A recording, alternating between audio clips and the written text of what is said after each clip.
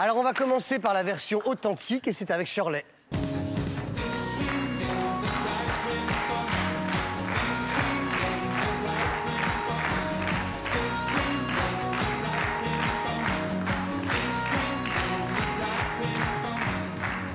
Voilà, alors je voulais commencer vraiment avec une, une pièce phare parce que ce caban voilà, est issu de, de la collection euh, de chez Aigle, la collection Héritage. La maison Aigle a réédité le premier caban euh, qui avait été fait et donc euh, c'est fait, je le dis parce que c'est important en ce moment, c'est fait en France par les établissements Tournier et Fils qui sont maîtres quart d'heure depuis 1865.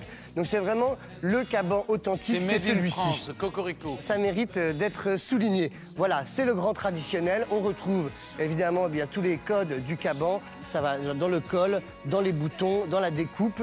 C'est le grand standard du caban. Il se porte avec certes un gros pull euh, façon euh, maille irlandaise de chez Cache Cache, tout petit prix 36 euros pour rester dans l'univers maritime, mais avec ça une bonne petite mini-jupe et tout d'un coup il n'y a plus de doute, on oublie le bidas et on a une très jolie euh, élégante. Voilà.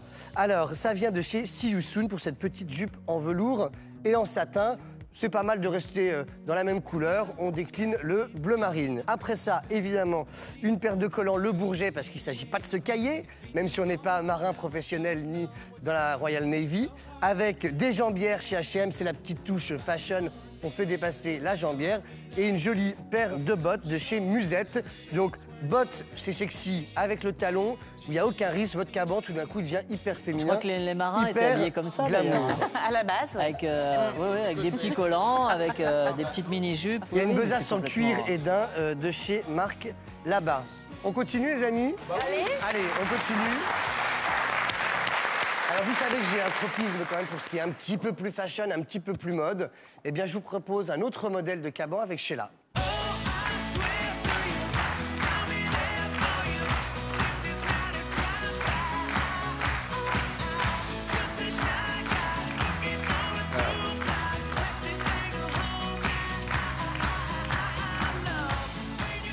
Voilà, alors là on a quitté euh, la côte fleurie. Euh, voilà, en France, par exemple, on voit ça, c'est vrai, au bord de la mer, au bord de la Manche ou de l'Atlantique. Là, on est dans, quelque chose de beaucoup plus urbain, de beaucoup plus modeux.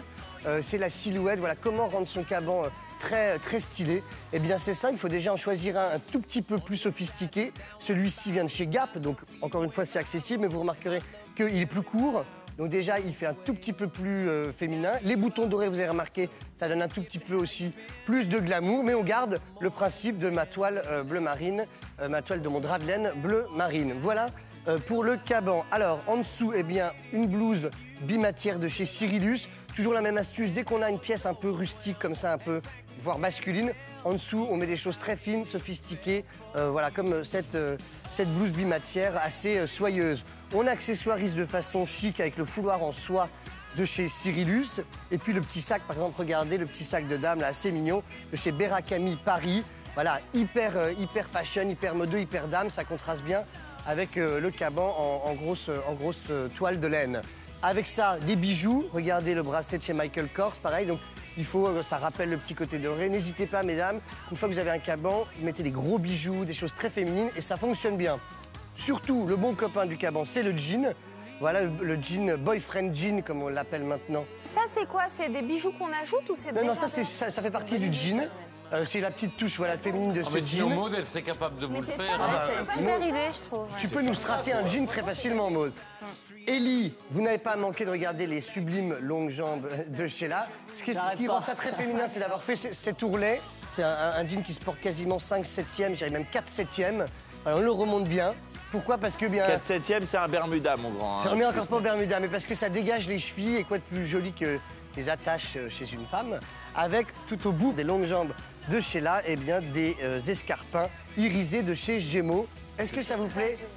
Cher Ellie. J'aime bien le, le jean, le, le- le- petit C'est pas mal le petit jean jean, reboulé, là, que ça marche bien. On était de l'authentique, là on était un peu dans, la mode mode. Eh bien revenons au grand classique pour finir, avec une silhouette plus tranquille qui ira à tout le monde. C'est le troisième look caban avec Shirley.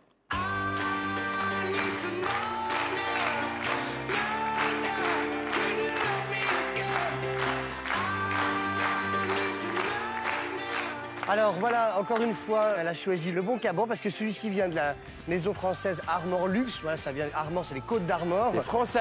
c'est Ah, à français. Quimper. Cocorico. C'est à Quimper. Bravo. Euh, Soutenons la maille française. c'est vrai que Stéphane, la maison Armor Luxe à Quimper euh, participe au développement économique de la région. C'est vraiment euh, une maison qui, voilà, qui s'accroche et qui, et qui arrive à concurrencer euh, voilà, toute la fabrique de tissus qui est très mondialisée. Mais ça donne ça, ça donne quelque chose d'impeccable, c'est la simplicité. Et ça, bah, il y a zéro faute de goût avec ce caban euh, de chez donc Armor Luxe. Avec ça, un petit col écharpe de chez Claire's en fourrure. En dessous, il y a une chemise en jean de chez Mime.